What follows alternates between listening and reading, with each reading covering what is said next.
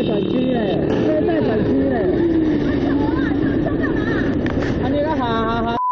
身穿长裙妇人车子违停机车待转区，手里拿一大袋资料就往旁边百货走，引发骑士不满。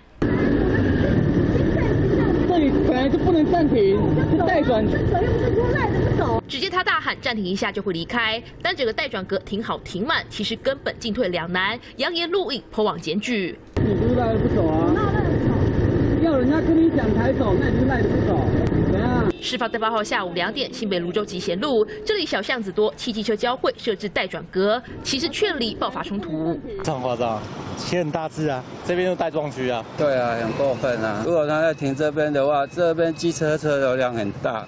造成很不方便。夫人当时和家人违停走去汽车用品店购物，挡到骑士待转路线，双方当街对骂，但他恐怕站不住脚，明显违规，挨罚六百元。就因为有可能他只是想说进来赶快换个东西，赶快出去，偶尔会出现这种客人，我们也会就是请他帮我们把车子停进来。夫人违规在线，还敢这么大声和骑士对呛，最后还是摸摸鼻子离开，结束这场闹剧。记者李晴、陆雨欣曾报道。